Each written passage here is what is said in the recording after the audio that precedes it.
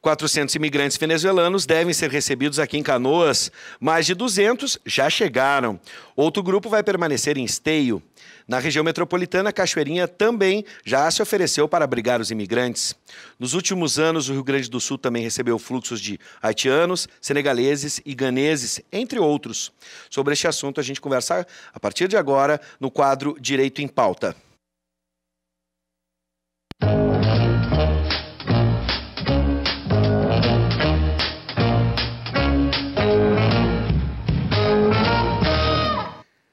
Para conversar sobre este assunto, está conosco a mestra em Direitos Humanos e professora de Direito da Uniriter, professora Cristiane Feldman. Seja bem-vinda, professora. Agradeço o convite e fico muito feliz de poder contribuir para as perguntas que vocês formularam. Muito bem. E você de casa também pode formular perguntas. 99588-2374, 99588-2374, pelo WhatsApp, por mensagem de texto. Bom, primeiro, professora, eh, a população em geral tem dúvidas sobre qual a diferença entre migrantes, imigrantes Perfeito. e refugiados. Perfeito. Como é que a gente diferencia? Um migrante é todo aquele que pode circular dentro de um país ou dentro de uma região. A diferença é que o imigrante é todo aquele que chega com o intuito de morar, de trabalhar, e essa diferença é que nem todo imigrante ele é um refugiado, porque o refugiado ele tem uma proteção especial. De acordo com a Convenção Internacional dos Refugiados 51 e o Protocolo de 67, diz assim, que é todo aquele que sai do seu país e por algum fator ele não consiga ou não queira retornar, algo, algo muito forte, seja através por causa da sua raça, da sua uhum. religião, da sua nacionalidade, do seu grupo social ou opinião política. Se ele retorna para esse país, ele corre risco de morte. Então, o refugiado ele recebe uma proteção nessas cinco condições. Sim. E aí nós estamos vendo uma coisa muito importante que nos dias de hoje nós temos o problema das migrações ambientais. Uhum. E o, a questão do imigrante, ele também ele pode ocorrer dentro de um estado. Por exemplo, no Brasil, nós temos os, as pessoas que moram na, no Amazonas. Quando existem aquelas chuvas torrenciais, elas têm que se deslocar, morar temporariamente num local. Então, Sim. pode existir um migrante não, né, dentro do seu próprio país, um imigrante deslocado dentro uhum. do próprio país. E o que, que é interessante? Pode ir para outro também. Né? Então, são, são questões diferentes. E o migrante forçado, que seria no caso do venezuelano, ele não tem o amparo como refugiado. É interessante essa diferença. Ou seja, os venezuelanos que estão chegando aqui, eles não são refugiados. Não. Agora, por exemplo, a gente teve casos de sírios. Sim, aí, sim, aí, é diferente. Aí, é aí é diferente, aí seriam refugiados. Isso, isso. Bom, agora a gente vai falar de um verdadeiro problema que está acontecendo no Brasil, que é essa questão da interiorização. Uhum, Eles entram uhum, por Roraima uhum, e muitos estão ficando lá e a gente uhum. sabe que, pelo menos é o que passou a governadora ou até mesmo né, a, a, os representantes do Estado e dos municípios, não tem mais condições da gente receber essas pessoas, né, deixá-los todos aqui no Estado. A gente precisa espalhar para, né, para o interior do Brasil. A interiorização é uma iniciativa criada para ajudar então esses venezuelanos em situação de extrema vulnerabilidade. O Ministério do Desenvolvimento Social irá repassar 1 milhão e 200 mil reais para Canoas e 535 mil para Esteio com a validade de seis meses. Após esse período, como é que vai funcionar? Haverá outros repasses de incentivos para os municípios? Como é que vai ficar essa questão? E até mesmo a participação da ONU, que está entrando com verba também. Sim. Então, é, tem este projeto. Inclusive, por que, que acontece isso? Nós, como nós temos acordos firmados, uhum. que por isso temos que recebê-los, é algo que está dentro da nossa legislação e foi agora, no dia 21 de junho, o Michel Temer assinou uma lei chamada número, a gente chama muito por leis no direito, Sim. 13 684 de 2018, que diz que é uma forma de atender de forma emergencial todos esses migrantes e emigrantes devidos a este fluxo de crítico devido uhum. a essa crise humanitária. E o que, que tem a ver tudo isso? Que está, inclusive, dentro desta legislação, como que vai proceder? Que quem vai organizar? É o, é o governo federal, junto com os estados, juntos com os municípios, uhum. trabalhando de forma organizada, tentando, em vez de deixar naquela parte concentrada, podendo, talvez, deslocá-los na medida que eles quiserem, porque são voluntários. Eles não são obrigados. Não, não. E uma coisa que eu falei que também para dizer, vai depender de caso a caso. Tu não uhum. pode dizer que todos os os venezuelanos não são refugiados, porque eles podem se encaixar numa dessas questões. Sim. Toda vez que um imigrante entra ou passa pela fronteira, ele vai se local, ele vai se direcionar para a Polícia Federal, aonde ele vai iniciar o procedimento uhum. para conseguir os documentos, enfim. Essas pessoas que estão lá em Roraima, como é que funciona? É voluntário. Então tem um grupo que faz todo um cadastro. Se eles quiserem vir, eles terão que passar por uma questão de saúde, serão, serão imunizados, uhum. vão receber documentos. Acho Bom, que, é. a questão dos benefícios, né? uhum. né? Como é que ocorre a seleção das pessoas que compõem os grupos que estão sendo beneficiados, né? uhum. né? A gente já sabe que é, de certa forma, voluntária. E isso só reforça o desafio deles. Porque exato, eu fico imaginando exato. alguém que sai do seu país, eh, às vezes deixa familiares nesse país uhum. e atravessa um continente, que é o Brasil, para chegar até o Rio Grande exato, do Sul. É uma situação de difícil escolha para eles, Com para certeza. ser voluntário. Com né? certeza. São corajosos. Sim, e é, tanto que a primeira leva dos venezuelanos, eles eram uh, caracterizados por serem mais homens e não com um grupo de famílias. Existe então uma divisão por gênero e idade? Não, é porque muitas vezes é uma forma de tentativa. Se, por exemplo, se tu tens uma família, muitas vezes o homem ou a mulher vão em busca do alimento para sua família. E uhum. foram essa primeira leva, que nem aconteceu com a leva dos haitianos. A primeira leva que houve, eu estava acompanhando todos eles, uhum. acon aconteceram onde vieram muitos homens na faixa dos 20 aos 40, onde vieram em busca de trabalho para depois fazer as suas reuniões familiares. Sim. Já nesta segunda leva, esta que chegou, inclusive foram familiares uhum. reunidos. Como são voluntários, quem vai decidir é se eles querem, porque eles estão lá num local. Quando uma vez eu conversando com um dos venezuelanos, ele me disse: "Eu estou num deserto, eu vou morrer, eu não tenho alimento, eu só posso andar até morrer".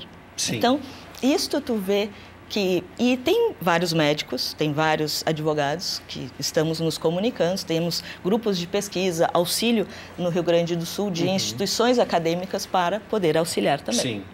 Vamos a questão, vamos para a questão da documentação, tá? tá? RG, CPF, até mesmo a gente está no período eleitoral, título de eleitor, carteira de trabalho, que é fundamental para eles recomeçarem Sim. a vida deles isso, tudo isso é disponível, está disponível para os imigrantes? Em quanto tempo ocorre esse processo? Toda essa documentação ou não? Alguns não? É, não, todos não. Quando tá. tu estavas falando, eles passam pela Polícia Federal. Uhum. Qualquer imigrante passa pela Polícia Federal para começar a dar o processo. Eles vão preencher um requerimento, que muitas vezes é o pedido de refúgio. Enquanto está tramitando para ver, porque vai, este pedido vai lá para o CONAR, que é em Brasília, que são 14 funcionários. Então tem um trâmite cuidadoso, não é qualquer um, porque tem toda uma assistência que quem ajuda para ser refugiado é o Acnur, né, que é o Alto Comissariado das Nações Unidas para Refugiados. Então tem um, todo um cuidado. E ele é moroso.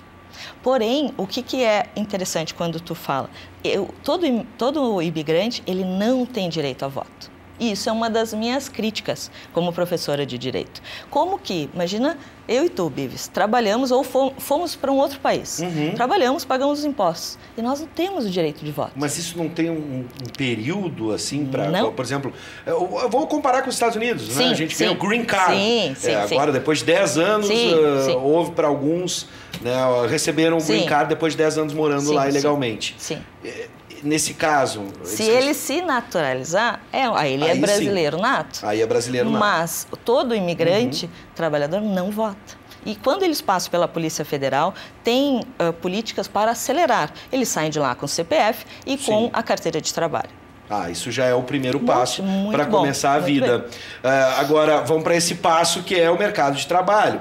Uh, existem programas para qualificar, tu disseste muito bem que alguns deles, e a gente sabe, sim. têm alta qualificação, sim. são engenheiros, sim. médicos, doutores, enfim, nas suas áreas. Mas aqui no Brasil, esse processo de qualificação, uh, existe algum programa já para que eles possam se qualificar? Até mesmo a questão da língua, sim. que é diferente. Sim, né? não, e é, e é um empecilho porque quando você não fala a língua num outro país, isso vai, vai determinar, inclusive, a tua inclusão social. Tu Sim. não vais conseguir muitas vezes entender um contrato de trabalho, tu não vais conseguir assinar um contrato de aluguel de uma residência, tu vais ter muitos problemas. Então a questão da autonomia, né, por tu não falar.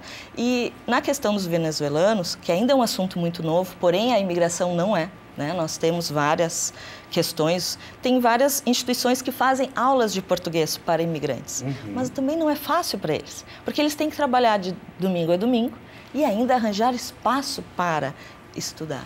É verdade, não é fácil. Agora, a questão da legislação. Infelizmente, a gente está vendo alguns casos sim. em Roraima e a população querendo fazer justiça com as próprias sim, mãos. Sim. Né? A gente sabe que a situação não é fácil quando se tem fome, quando né, se está numa situação de vulnerabilidade.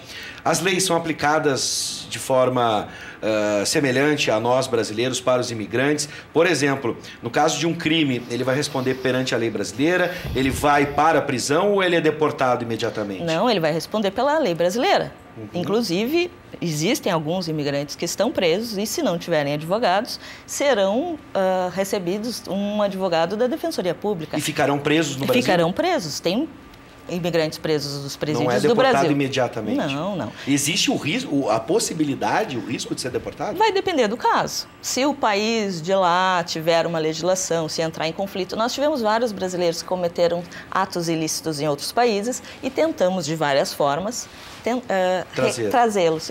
Claro. Mas, a princípio, ele será julgado aqui. Agora, por exemplo, a população fica às vezes pensando: bom, já temos dificuldades nos nossos sim, municípios, sim. o mercado de trabalho não está fácil. Sim. Qual a importância do município? O que, que o município, até mesmo a população do município, pode receber, né, ganhar desses imigrantes, além da diversidade cultural, da experiência claro, cultural fantástica? Claro. Eu, eu sempre falo, Bibis, assim, ó, todos nós somos descendentes de imigrantes. Sem dúvida. A diversidade faz com que nós tenhamos um aprendizado melhor. Se formos todos iguais, não tem aprendizado. Então, aprendemos muito com os italianos, com os haitianos, com os alemães, de várias formas.